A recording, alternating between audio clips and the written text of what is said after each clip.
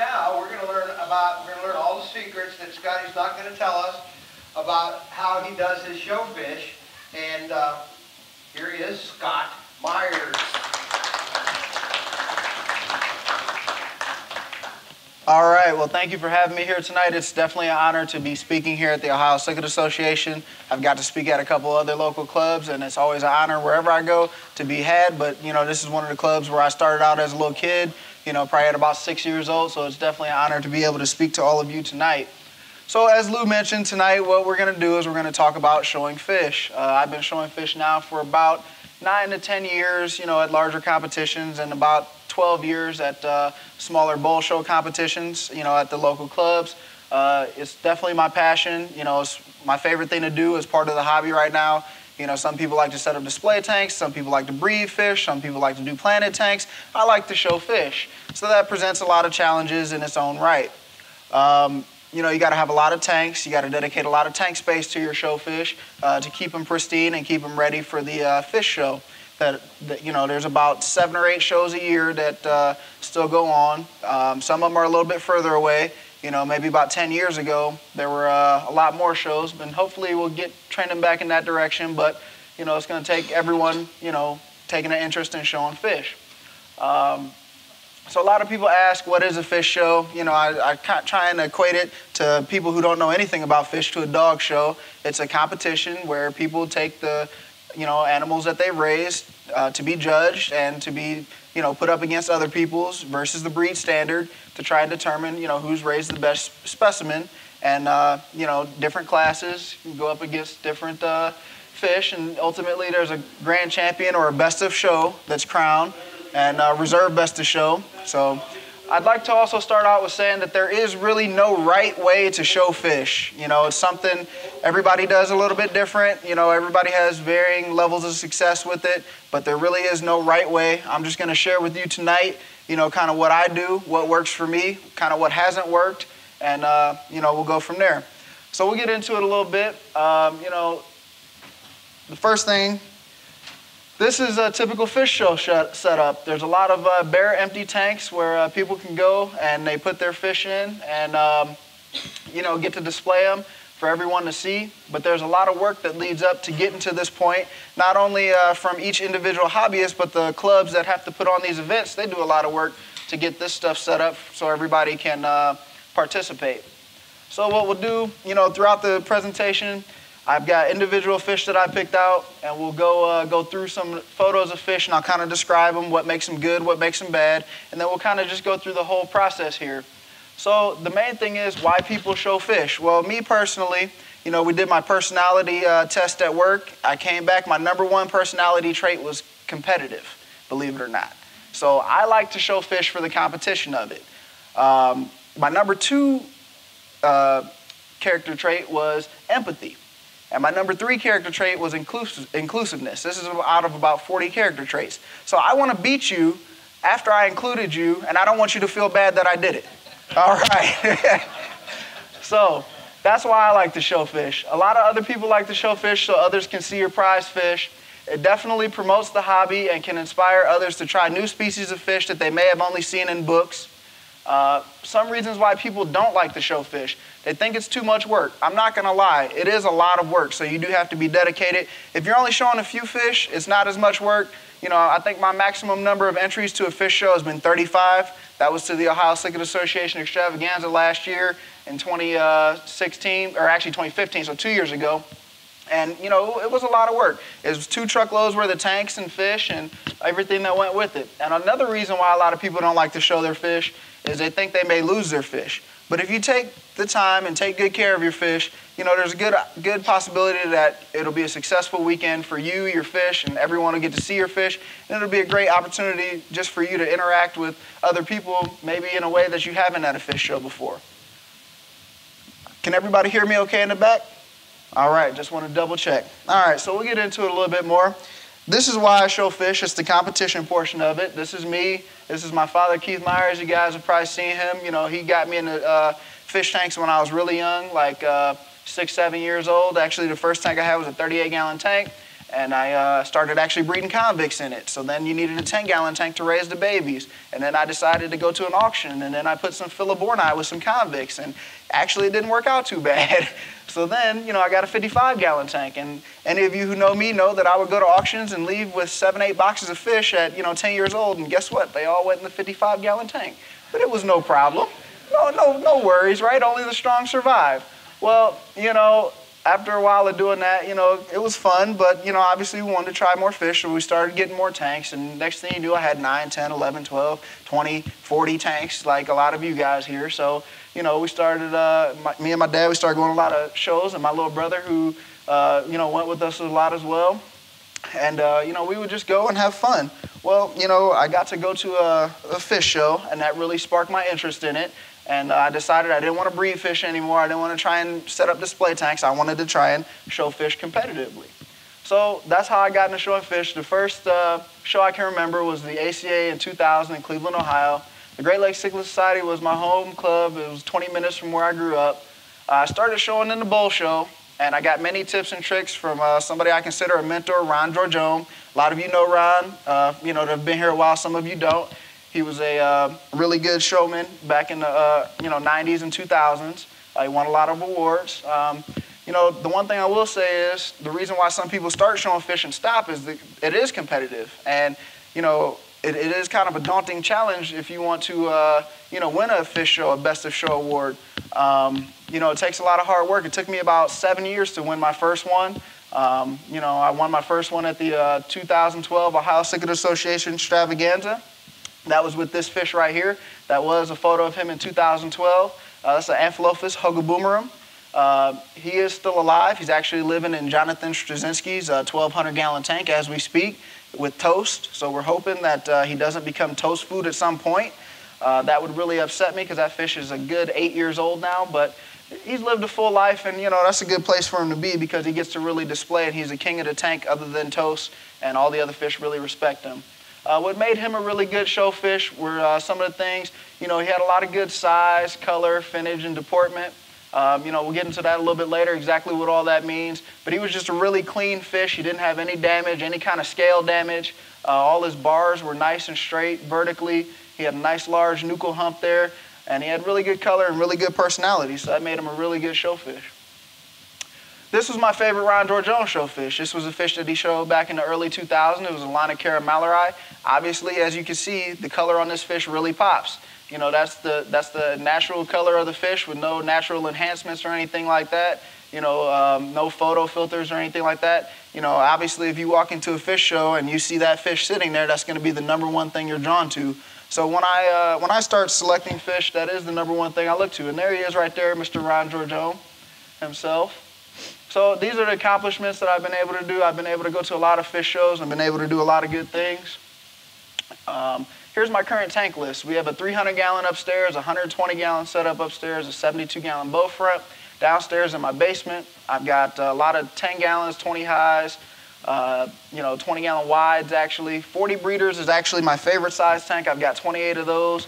And then uh, I use a lot of the uh, 40 breeders, 20 highs for a lot of the Malawi showfish. And then I use a lot of the uh, 40 breeders to start growing out the centrals. Then they move up to the 70 gallons, 75s, 90s. It just depends on what I have available. Um, you know, the 400 and the other 300 are work in progress. Uh, right now we're pushing a total of 4,522 gallons. I just acquired another 575 gallons, so that'll allow me to grow up a few more large Central American showfish. So moving on, uh, like I said, we're going to talk about the process of showing fish, at least in my point of view. Uh, the process involves selecting the right fish, raising those, those fish, preparing them for the show, transporting them to the show, setup, judging, and teardown. This is, uh, this is my Nandopsis B9. That was a photo that uh, Mo, Mo, Devlin, who you guys will see next month, he took that photo at the Louisville ACA in uh, Kentucky in 2014. That fish actually uh, took first in his class that year. Uh, you know, very nice fish. You know, a lot of nice finnage on the fish, nice trailers, no nicks, no tears, nice red eye, you know, nice honeycomb pattern that attracted the judges. So those are the kind of things I start to look for. And again, we'll get to that even more as we go through. Uh, I am going to stop right here though and tell you the one thing is all the, this step is important, this step is important, this step is important, this step right here, this is what a lot of people miss, the transporting part. You can do the first three steps right, and if you miss this step, all your hard work goes down the drain really quick. If you nick up the fish, if it you know hurts itself, if it damages itself. So I, I'm going to emphasize that throughout the entire talk, and I all want you to say, what's the most important part? All right, there you go. So selecting showfish, I look for many traits when I select showfish. Usually, and I kind of rank them, you know, how I select showfish. Usually outstanding color versus the breed, breed standard is the number one attention grabber in a showfish. I actually am going to stop right here and explain a little bit. When the showfish are judged, it's by, uh, you know, people who uh, are experts in their field for those fish. And uh, it is subjective. You know, no two fish shows are going to be alike. You could take the same you know, 200 fish that were at one show, move it down the road 20 minutes, have a different set of judges, and have a completely different outcome. So it is very subjective. So you kind of got to be okay with that because, uh, you know, something that did good one day might not do good the next day. So you kind of got to have a variety, and that's what I aim to do. I have a little bit of everything, so that that way I have a really good shot at uh, doing, you know, my ultimate goal, which is to take best in show. So after the color, being the number one attention grabber, I look for the finer details. Finnage is usually next important. Any kind of fin flaws, and typically the fish will be uh, knocked out of the running for like a uh, first in class or best in show. Uh, deportment, that could be uh, next most important. You know, a fish that deports really well. Uh, what deportment is, is it's how the fish acts in the tank when you're uh, at the fish show. Is it hiding in the corner or is it at the front of the glass meeting you? You really want your fish to be at the front of the glass meeting you. You know, we'll go over some tips and tricks on how to uh, select for these traits further in the talk, but uh, that's, that's definitely one thing that, uh, you know, you want to pay attention to. Then the, you know, over the years, you know, when I first started showing fish, maybe, uh, like I said, 15, 20 years ago, size was really important. Uh, just because I think, mainly in my opinion, I think because the number of entries has dropped, I think size kind of gets overlooked as far as when the judges are pointing out fish. Uh, you know, just because there's not as many uh, people showing the fish, so there's not as much selection. And I think that anybody that was showing fish, you know, a while ago would kind of agree that, you know, then versus now, size is kind of not as important. And then just lastly is overall condition. You know, every every trait is important, and every trait can lose you points. But I just kind of rank them to what I think is important. So, you know, this is a pair of Parachromis dovii that I'm spawning. But I just wanted to point out that this would not make a good showfish. Why would it not make a good showfish? It's got great color. It's starting to grow into its adult size, except it's got a big nick right there in the dorsal fin. So that would be approximately three to five points off out of the 20 for finnage, and that would, uh, you know, make it really hard to, you know, grow that fish into a show champion. This fish, on the other hand, is an Aulonocara walteri, and the finnage on this fish is virtually perfect. Uh, you know, it's got very long flowing trailers um, on for the dorsal fin and the anal fin. The pectoral fins are both matching. They're the same length. They've got the same length of trailers. You know, the fins are spread pretty much evenly from top to bottom. Um, you know, what we'll talk about while we're looking at this fish is a Aulonocara. I'll show you, I'll share with you some of the things I look for. Obviously, the coloration on this fish is nice. The finnage is nice. Uh, another couple things I look for, you know, a lot of people overlook the details, but you want every single dorsal ray from tip to tip to tip to tip to make a nice, even, swooping curve there. If you've got one dorsal ray that's sticking up too high or too low, it'll definitely show. If the fish has received any damage, you know, any nicks, and there's any space in between there, then the fish is going to lose points for that. Another uh, tip to look for when selecting a Aulonocara is even though when they're at home in breeding dress, they typically don't show too much barring, you want to take a look at the barring on the fish. The barring should be the same on both sides. The distance between the bars should be uniform. There should be no broken barring. These, the bars on this particular fish are really nice. Um, you know, it's uniform on both sides. You want to make sure there's the same number of bars on both sides because typically when you take your fish to a fish show, it's not going to be 100% comfortable. It's going to be a little upset and it's going to be stressed out a little bit, so it's going to show a little bit more barring than it would at home. Uh, another thing I look for with my Aulonocara peacocks, especially my jacobfreibergi types, is going to be the uh, color on the finnage. You want to make sure on the uh, caudal fin here on the back that, you know, if it's got white on the top, it's got white on the bottom. In a perfect fish, it would actually uh, it would actually be 100% matching with how much you know coloration or white and just how much it comes around. But uh, this fish has a little bit of a floss, not as white on the bottom as it is on the top. So those are some of the things I look for as far as uh, my Aulonocara peacocks. So we'll get into uh, how I go about raising my showfish. Uh, you know, it's really nothing special. Uh, a lot of people think I do a lot of fanatical stuff just to try and get my showfish to where they are, but uh, you know, really, it's, it's really not much that's special about it. Um, you know, I'm doing biweekly water changes of about 50%. I feed a really mixed diet. Tetra Cichlid sticks is pretty much my staple. New Life Spectrum for a lot of the uh, Africans. I get the Ken's Veggie Flake in there at least once a week. Frozen brine shrimp for the old world fish. Market shrimp for the uh, Central Americans, you know, about once a month. Um, so it's really not, you know, any kind of crazy diet. I know there's a lot of, you know, diets out there, color enhancers and all that kind of stuff. I've tried to do some of it. I've tried some chemicals. You know, there was a chemical out there called Boyd's Vitachem. I've tried that. You know, it really didn't make a difference in my opinion. There's, uh, you know, vitamin B12 is supposed to be really good for finnage from what I've heard. I've tried that. I've tried to feed it. I've tried to put it, dose the tank. I really haven't had any kind of different results with it.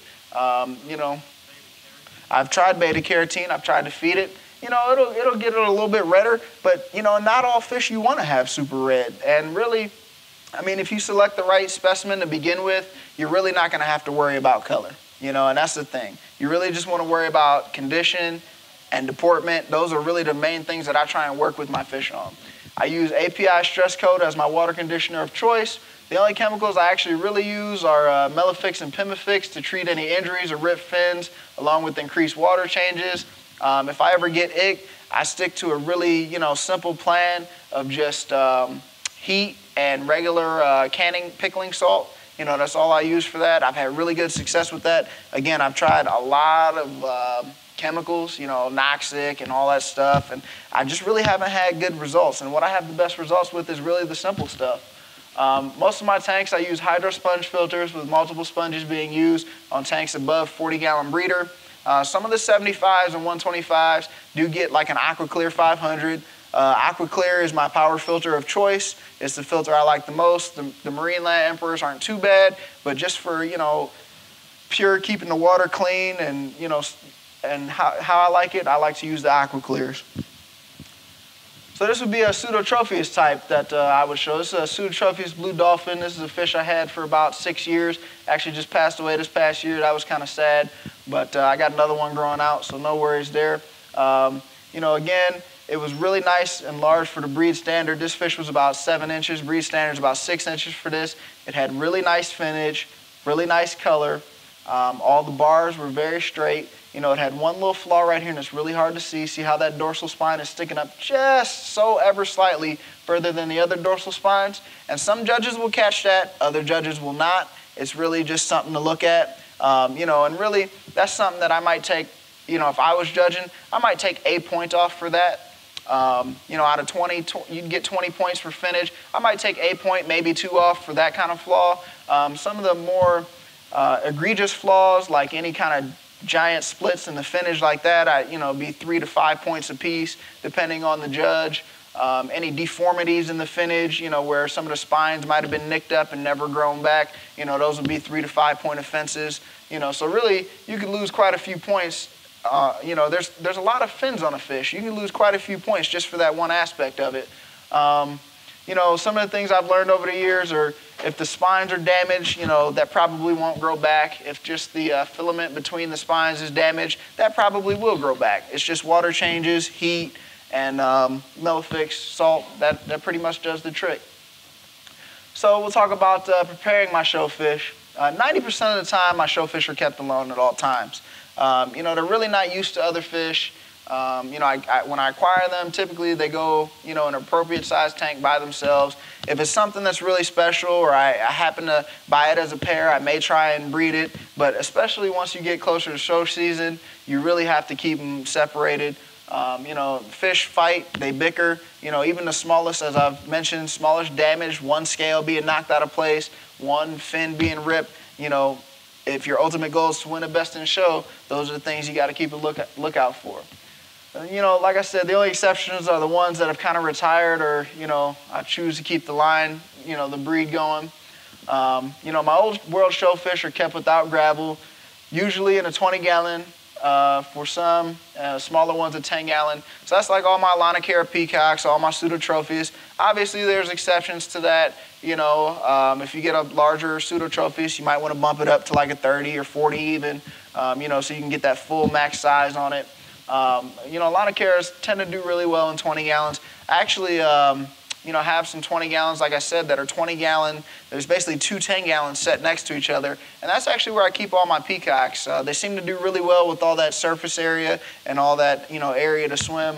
Uh, allows them to display really well. 20 gallon high would be my next choice. And last choice probably be a 20 gallon long. Um, just, you know, with the way I keep fish. A lot of the Tanganyikas, smaller ones, the, lupi, lamps, stuff like that, they'll be fine in a 10 gallon, crevensis, stuff like that. You know, they'll be fine in 10 gallon. Uh, my New World showfish are usually kept with gravel. And the reason I do that, you know, the New Worlds versus the Old Worlds, the Old Worlds, you know, they, they tend to be less uh, personable.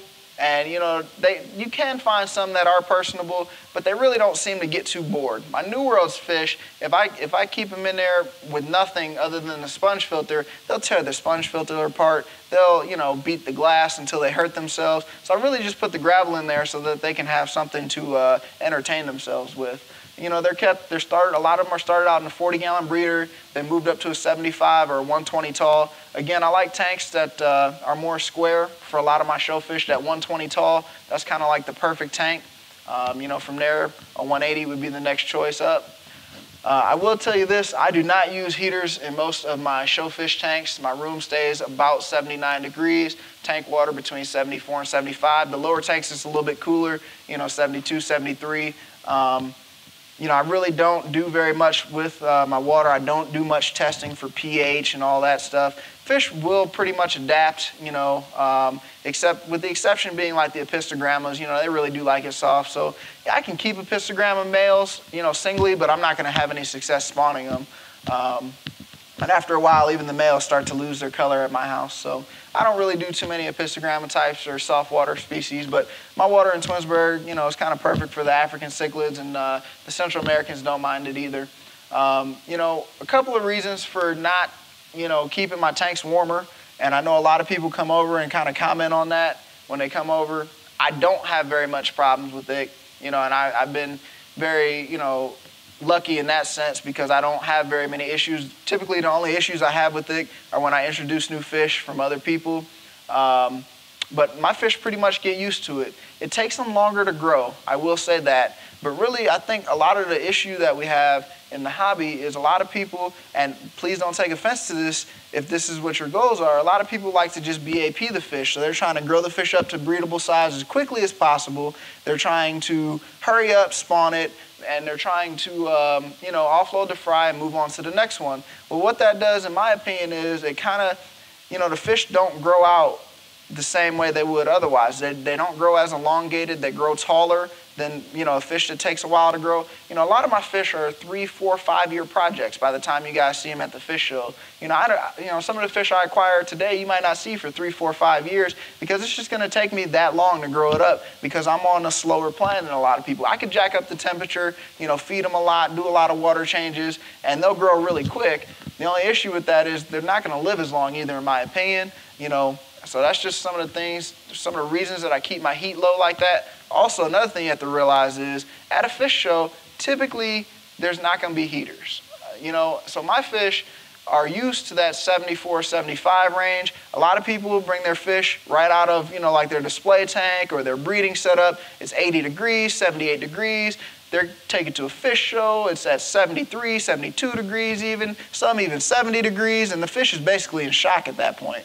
So really, that's another reason why I don't like to keep my um, tanks that warm. You know, I could go into a lot more depth and, um, you know, put a lot of heaters on my tanks, but I, I, just got so many tanks that I can't can't do that. And then I could, you know, jack up the temperature, grow the fish out really quick, and then, you know, lower it down before the show. But I don't really want to do that. I'm, I'm pretty happy with the method I have. So this is actually a fish. This photo is uh, taken circa like 2010.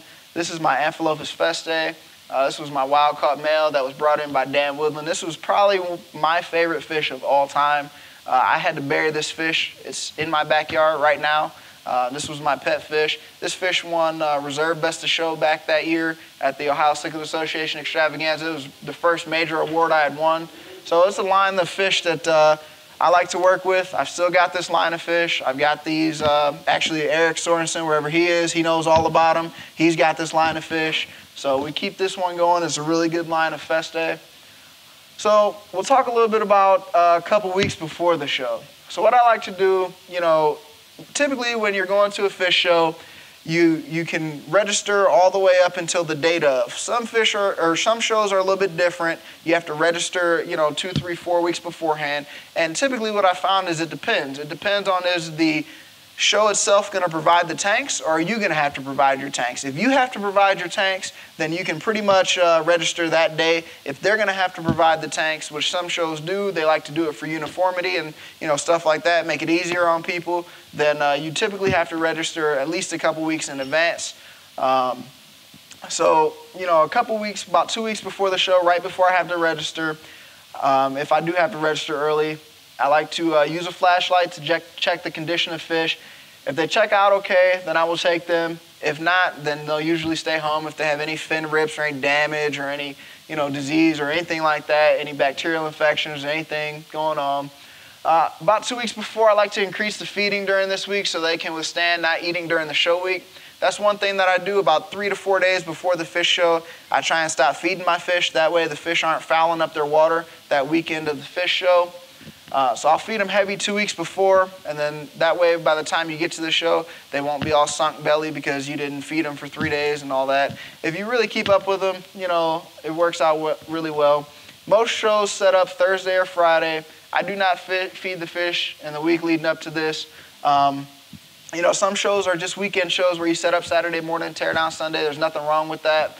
Um, but most of the major shows, it's either Thursday or Friday um, for setup. I actually like to set up my fish the day before judging if possible. That's the best time to set up your fish. I have a lot of people ask me that. I know some shows you can set up two days before, even three days before.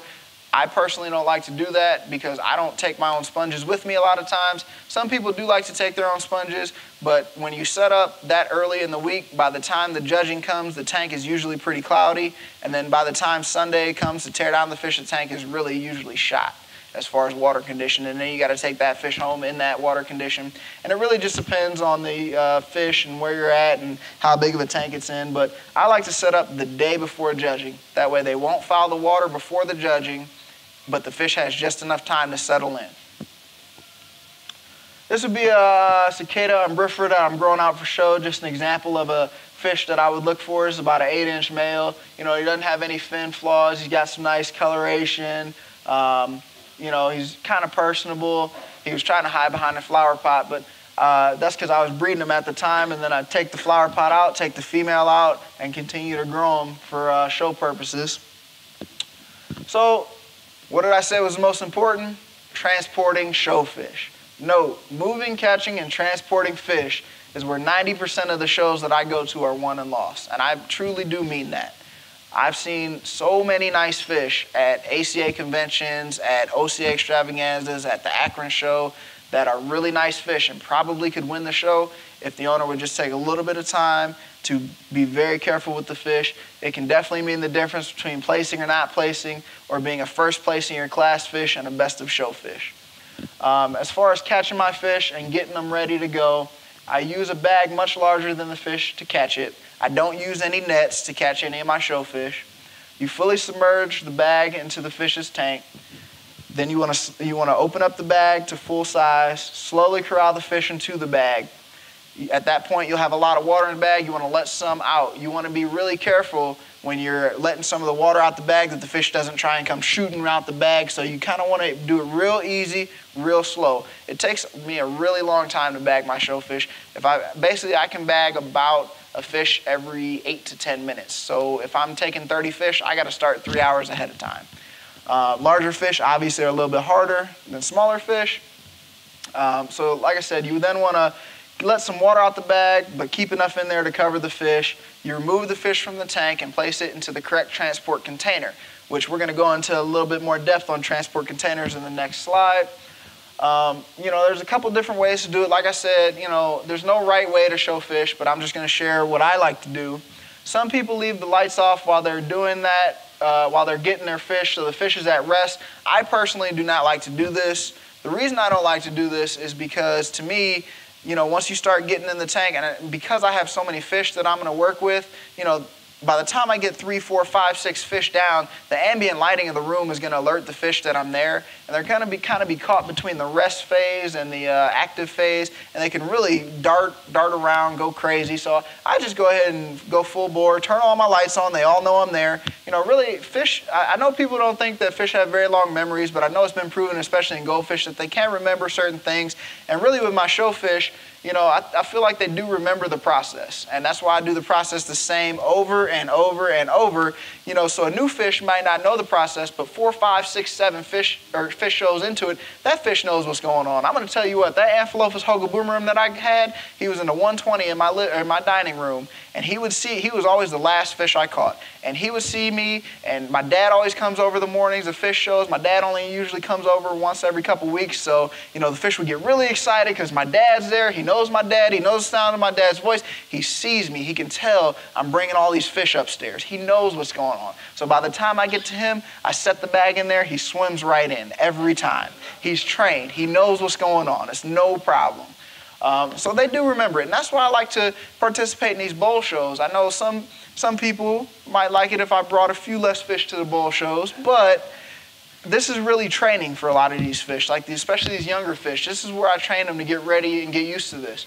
Um, you know, so if you're going to the fish show, you know, you're going to follow this process to get your transport and your show fish, but it also really depends on how far you're going, you know, how long you're going to be at the show. You know, like a bowl show like tonight, I brought my fish in the tank. You know, that's another method to transport them. That's not my preferred method. That's just the easiest method for what we're doing here tonight at the bowl show. I can take the fish home. I can put them right back in their tanks.